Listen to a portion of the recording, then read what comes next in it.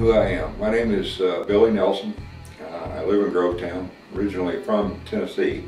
Moved to Georgia about eight years ago. Uh, bought a Ram pickup truck.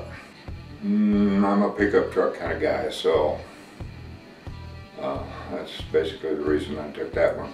Uh, Mike Kent uh, helped me buy the truck. Pretty good guy. I think you're going to have a, a good salesman there.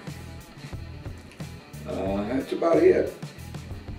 Nothing, nothing unusual. My wife bought a, a Fiat here back in uh, November. Uh, I brought it down this morning for its first oil change, and while I was doing that, uh, I started looking at the trucks, found one I liked, and here I sit. That's about it. Customer satisfaction is our highest priority. At Thomson Chrysler Dodge Jeep Ram, we're easy to find on I 20 exit 172 or browse the site at jeepcheap.com.